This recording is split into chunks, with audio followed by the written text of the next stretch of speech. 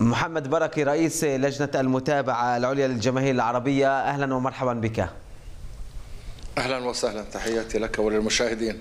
في بداية هذا هذه المقابلة أريد أن أسألك ما هي الرسالة التي أراد منفذو الجريمة الثلاثية التي أسفر عنها مقتل شاب من إكسال وإصابة آخرين؟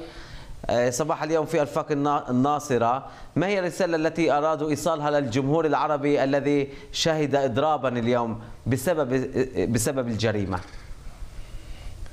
يعني لست أدري حقيقة إذا كان هؤلاء يعني يعملون حسابا لأجندة سياسية أو وطنية أو إنسانية. هم آه، قتلوا في يوم إضراب وهم قتلوا في مقبرة وهم قتلوا في مأتم وقتلوا في عرس وقتلوا في جنازة وقتلوا في مسجد. يعني كل المحرمات قتل أطفال وقتلت نساء كل المحرمات ارتكبت. لذلك أنا لا أعتقد أن هنالك رسالة لكن ما اعرف أعرفه أن ضحية الحادث من إكسال هو إنسان أبعد ما يكون عن هذه الأطر التي أو عن هذه المجموعات التي تعيث فسادا في مجتمعنا وفي بلادنا. نعم كيف تقيم ونحن نتحدث الآن كيف تقيم تجاوب الجمهور العربي مع الإضراب؟ وخاصة أنه تصل إلى أذانك وأيضا ناقشتم هذا الموضوع في لجنة المتابعة أكثر من مرة جدوى إعلان الإضراب في مواجهة الجريمة والعنف.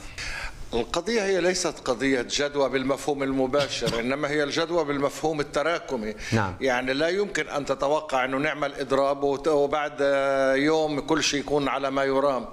إنما هذا تعبير عن موقف للمجتمع العربي الفلسطيني في البلاد.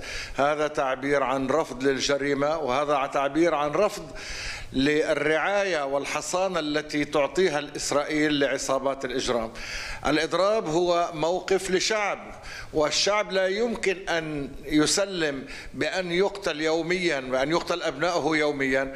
ويجلس في البيت كان من الضروري أن يعلن موقف جماعي وأنا حقيقة أستطيع أن ألخص برضا التجاوب مع الإضراب آه، التجاوب كان كبير حتى في المدارس كان في هنالك بعض الارتباك كيف ننفذ نعم، المشروع صحيح. الجديد الذي أطلقناه يعني إحنا أول إحنا في الماضي كنا آه، إما أن ندعو إلى إضراب كل للجهاز التعليمي أو ندعو إلى عدم آه، انتظام إلى إلى إلى الدراسة بشكل عادي في الجهاز التعليمي. لكن هذه المرة قررنا أن نجرب شيئا جديدا نعم. وهو أن لا تكون ال- يكون الإضراب بمثابة عطلة وأن الأولاد يروحوا بالشوارع ويقعدوا في البيوت إنما أن يكون هناك مضمون لمعنى الإضراب ومغزى الإضراب في المدارس وفي هذه الأجيال الصاعدة. وأعتقد إنه هذا كان مهم. هذه تجربة جديدة. الكثير الكثير وغالبية نعم. المدارس قامت بذلك على أفضل وجه. هنالك بعض الأشياء التي يجب أن نتعلمها للمرات القادمة في كيفية نعم. آه، تر- ترتيب هذا الموضوع بشكل أفضل بدون أدنى شك. لكن الإضراب بشكل عام كان ناجحا وأدى رسالته في كل القرى والمدن العربية. وأنا أريد أن أثني على ما نشر في موقعكم على آه، شبكة الإنترنت الذي استعرض نجاح الإضراب في غالبية المدن والقرى العربية.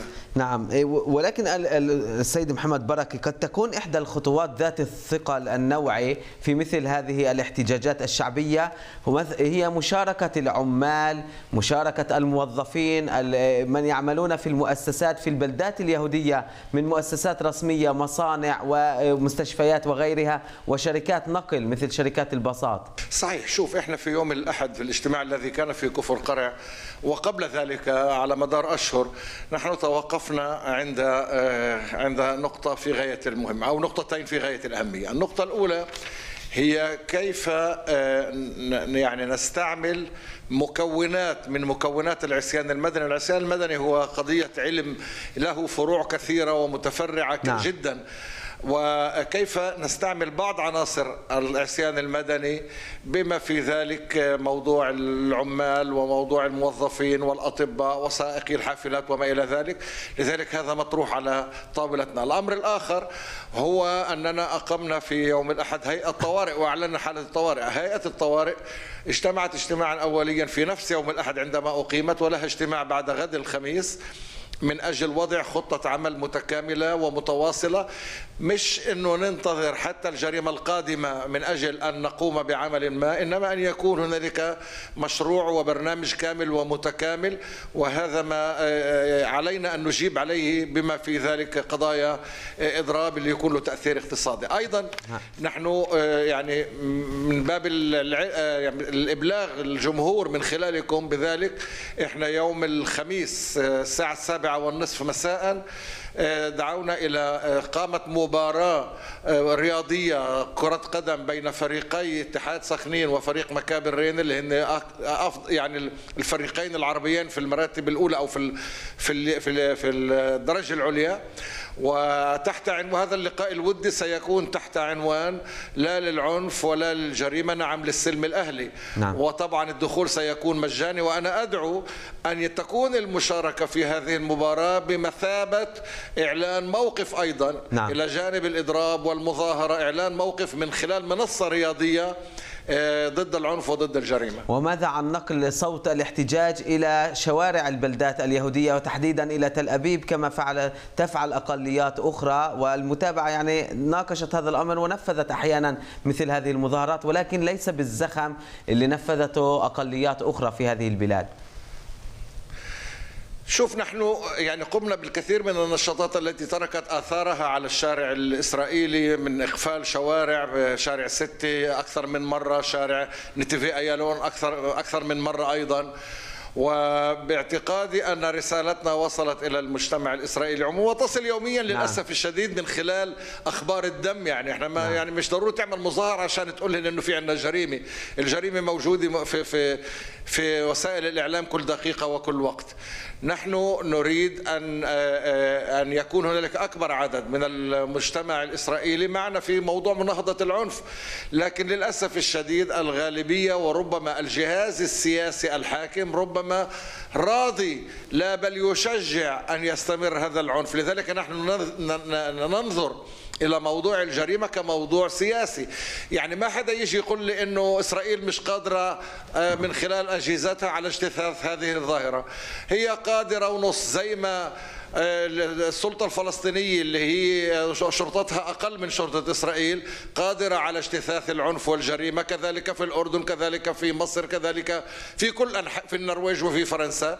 لا يعقل أن يصدق أحد أن إسرائيل غير قادرة. نعم. لذلك نحن ننظر إلى مشروع العنف والجريمة كمشروع سياسي تستعمله إسرائيل من أجل تفكيك مجتمعنا وحرفنا عن قضايانا الأساسية.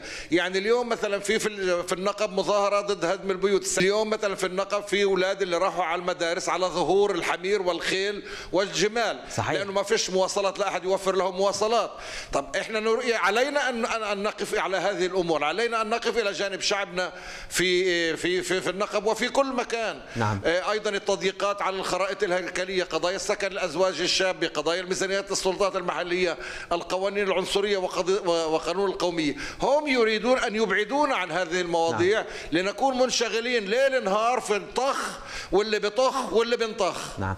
سؤالي الأخير وأنت يعني للأسف الشديد بسبب يعني إنه الجريمة لا يعني لا تفرق بين بلد وآخر يعني تشارك كل يوم أو يومين باجتماع طارئ في بلدة ما وهناك أصوات يعني التي تلوم القيادات العربية تهاجم أحيانا القيادات العربية. مثلا إلهام خازن أمس تقول من أوصلنا إلى هذا الحال هي القيادات العربية وليست بن كفير مع العلم إنه القيادات العربية لا تمتلك لا شرطة ولا ولا جهاز قضائي كيف ترد على مثل هذه التصريحات؟ شوف أنا أنا أفرق بين نوعين من هذا الانتقاد، هنالك انتقاد نابع عن ألم وأنا أتفهم ذلك، هذا انتقاد مشروع وهم يت... والناس تتوقع من قيادتها أن تعمل أكثر وأكثر وطبعا يجب علينا أن نعمل أكثر وأكثر. لكن هنالك من يقول هذا الكلام كمن يدس السم في الدسم، بمعنى أنه يريد أن يساهم في عملية التفكيك التي تقوم فيها إسرائيل من خلال التحريض على قيادات شعبنا، من خلال آه، تفكيك قيادات شعبنا. يعني في بصيرش اللي تهاجم لجنة المتابعة في الوقت اللي على طاولة الكنيسة مطروح مشروع قرار بإخراجها خارج المتابعة. ممنوع مثلا لا نقبل أنه يكون في تحريض على الرؤساء السلطات المحلية وعلى اللجنة القطرية للرؤساء بينما سموتريتش بيسكر الحنفيات وبيمنع الميزانيات اللي أقرت. هذا أمر غير معقول. بصيرش يعني نقبل بالتحريض على آه، لجان إفشاء السلام في الوقت اللي البعض النشيطين والنشيطات يهددون ويهددن بشكل قبيح. ونحن في الأسبوع القادم سنقيم مؤتمر صحفي حول هذا الموضوع ونكشف أشياء خطيرة حول استهداف عناصر محسوبة على المؤسسة لقيادات شعبنا من أجل أيضا إنزال مكانتها من أعين شعبنا من أجل أن يكون الاستفراد بشعبنا أهون وأسهل. من كون شعب مقطوع الرأس لا قيادات ولا مرجعيه ولا قرارات جماعية ولا شيء كل واحد وحاله. نعم. أريد أن أشكرك محمد بركة رئيس لجنة المتابعة العليا للجماهير العربية. شكرا. شكرا يعطيكم العافية.